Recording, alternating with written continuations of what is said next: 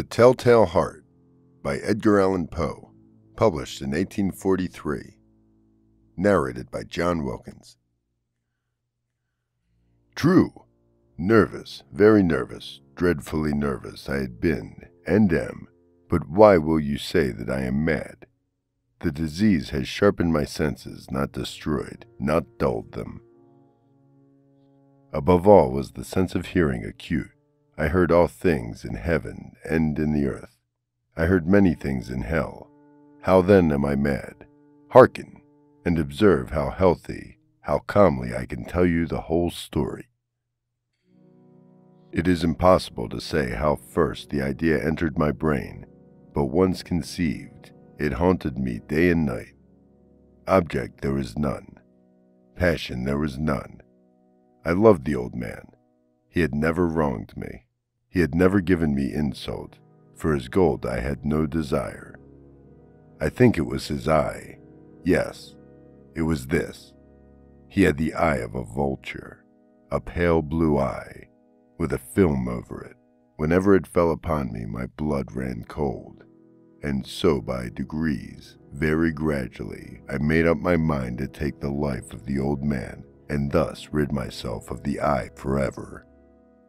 Now, this is the point. You fancy me mad. Madmen know nothing, but you should have seen me. You should have seen how wisely I proceeded, with what caution, with what foresight, with what dissimulation I went to work. I was never kinder to the old man than during the whole week before I killed him. And every night, about midnight, I turned the latch of his door and opened it, oh so gently. And then, when I had made an opening sufficient for my head, I put in a dark lantern, all closed, closed that no light shone out. And then I thrust in my head. Oh, you would have laughed to see how cunningly I thrust it in. I moved it slowly, very, very slowly, so that I might not disturb the old man's sleep. It took me an hour to place my whole head within the opening so far that I could see him as he lay upon his bed. Ha! Would a madman have been so wise to do this?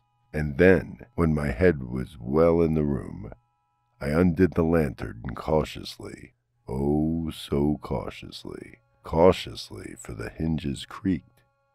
I undid it just so much that a single thin ray fell upon the vulture eye, and this I did for seven long nights, every night just at midnight. But I found the eye always closed, and so it was impossible to do the work, for it was not the old man who vexed me, but his evil eye. And every morning when the day broke, I went boldly into the chamber and spoke courageously to him, calling him by name in a hearty tone, and inquiring how he has passed the night. So you see he would have been a very profound old man, indeed, to suspect that every night, just at twelve, I looked upon him while he slept. Upon the eighth night I was more than usually cautious in opening the door, a watch's minute hand moves more quickly than did mine. Never before that night had I felt the extent of my own powers, of my sagacity. I could scarcely contain my feelings of triumph. To think that there I was, opening the door, little by little, and he not even to dream of my secret deeds or thoughts. I fairly chuckled at the idea, and perhaps he heard me for he moved on the bed suddenly, as if startled. Now you may think that I drew back, but no. His room was as black as pitch with a thick darkness, for the shutters were close fastened through fear of robbers, and so I knew that he could not see the opening of the door, and I kept pushing it on steadily, steadily. I had my head in and was about to open the lantern when my thumb slipped upon the tin fastening, and the old man sprang up in the bed, crying out, Who's there? I kept quite still and said nothing. For a whole hour I did not move a muscle, and in the meantime I did not hear him lie down. He was still up in his bed listening, just as I have done night after night, hearkening to the death watches in the wall. Presently I heard a slight groan, and I knew it was the groan of mortal terror. It was not a groan of pain or of grief. Oh no, it was the low, stifling sound that arises from the bottom of the soul when overcharged with awe. I knew the sound well. Many a night, just at midnight, when all the world slept, it was welled up from my own bosom, deepening, with its dreadful echo, the terrors that distracted me. I say I knew it well. I knew what the old man felt, and pitied him, although I chuckled at heart. I knew that he had been lying awake ever since the first slight noise when he had turned in the bed. His fears had been ever since growing upon him. He had been trying to fancy them, cautiously, but could not. He had been saying to himself, It is nothing but the wind in the chimney. It is only a mouse crossing the floor. Or, it is merely a cricket which has made a single chirp. Yes, he had been trying to comfort himself with these suppositions, but he had found all in vain.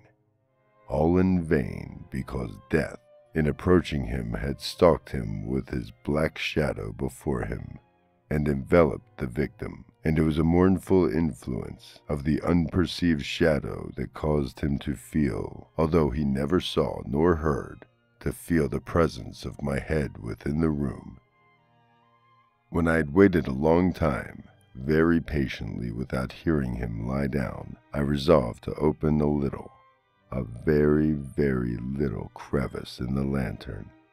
So I opened it. You cannot imagine how stealthily, stealthily, until at length a simple, dim ray, like the thread of a spider, shot from the crevice and fell upon the vulture eye. It was open wide, wide open, and I grew furious as I gazed upon it. I saw it with perfect distinction, all a dull blue, with a hideous veil over it that chilled the very marrow in my bones. But I could see nothing else of the old man's face or person, for I had directed the rays as if by instinct, precisely upon the damned spot. And have I not told you what you mistake for madness is but over acuteness of the sense? Now I say, there came to my ears a low, dull, quick sound, such as a watch makes when enveloped in cotton. I knew that sound well, too. It was the beating of the old man's heart. It increased my fury, as the beating of a drum stimulates the soldier into courage. But even yet I refrained and kept still. I scarcely breathed. I held the lantern motionlessly. I tried how steadily I could maintain the ray upon the eye. Meanwhile, the hideous tattoo of the heart increased. It grew quicker and quicker, and louder and louder every instant. The old man's terror must have been extreme. It grew louder, I say louder every moment, do you mark me well? I have told you that I am nervous. So I am. And now, at the dead hour of the night, amid the dreadful silence of the old house, so strange a noise as this excited me to uncontrollable terror, yet for some minutes longer I refrained and stood still. But the beating grew louder, louder. I thought the heart must burst, and now a new anxiety seized me. The sound would be heard by a neighbor. The old man's hour had come.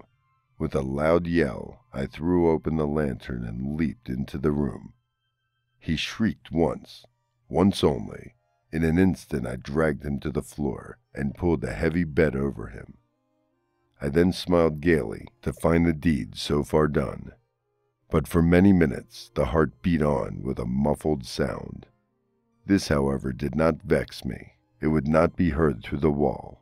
At length it ceased. The old man was dead.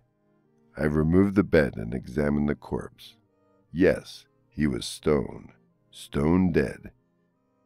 I placed my hand upon the heart and held it there many minutes. There was no pulsation. He was stone dead. His eye would trouble me no more. If still you think me mad, you will think so no longer when I describe the wise precautions I took for the concealment of the body. The night waned, and I worked hastily, but in silence. First of all, I dismembered the corpse. I cut off the head, and the arms, and the legs. Then I took up three planks from the floor of the chamber, and deposited all between the scantlings. I then replaced the board so cleverly, so cunningly, that no human eye, not even his, could have detected anything wrong. There was nothing to wash out, no stain of any kind, no blood spot whatever. I had been too wary for that. A tub had caught all. Ha ha! When I had made an end to all these labors, it was four o'clock, still dark as midnight, as the bell sounded the hour. There came a knocking at the street door. I went down to open it with a light heart, for what had I now to fear? There entered three men who introduced themselves, with perfect suavity, as officers of the police. A shriek had been heard by the neighbor during the night. Suspicion of foul play had been aroused. Information had been lodged at the police office, and they, the officers, had been deputed to search the premises. I smiled, for what had I to fear? I bade the gentleman welcome. The shriek, I said, was my own in a dream. The old man I mentioned was absent in the country. I took my visitors all over the house. I bade them search, search well. I led them at length to the chamber. I showed them his treasures, secure, undisturbed. In the enthusiasm of my confidence, I brought chairs into the room and desired them here to rest from their fatigues, while I myself, in the wild audacity of my perfect triumph, placed my own seat upon the very spot beneath which possessed the corpse of the victim. The officers were satisfied. My manner had convinced them. I was singularly at ease. They sat, and while I answered cheerfully, they chatted of familiar things.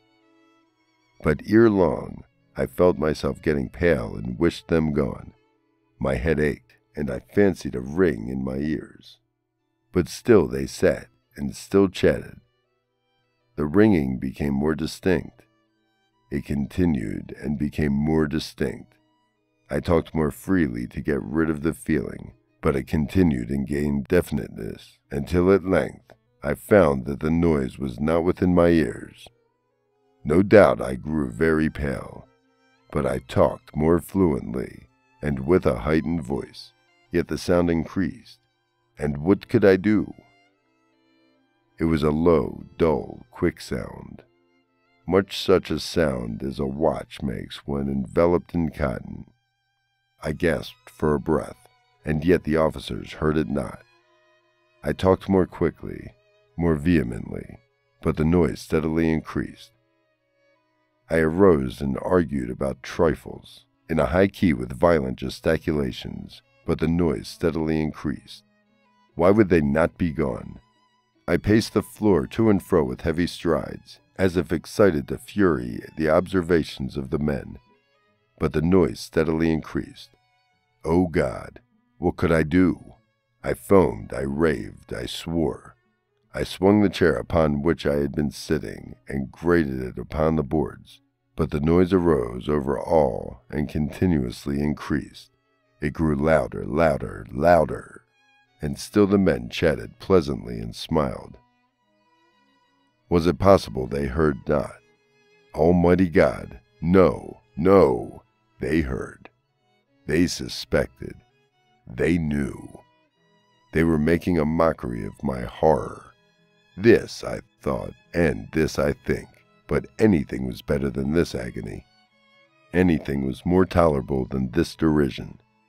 I could bear those hypocritical smiles no longer. I felt I must scream or die.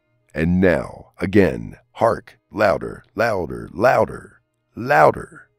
Villains, I shriek. Dissembled no more, I admit the deed. Tear up the planks. Hear, hear. It is the beating of his hideous heart.